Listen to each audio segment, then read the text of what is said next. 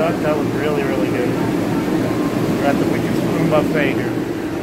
Let's see what else we got. We got some desserts.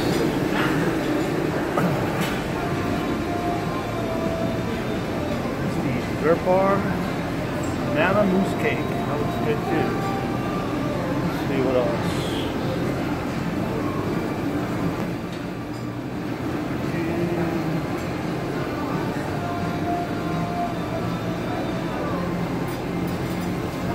Lemon cake. Almond apricot pork. Nice little ice cream or gelato. Maybe it's gelato, I don't know.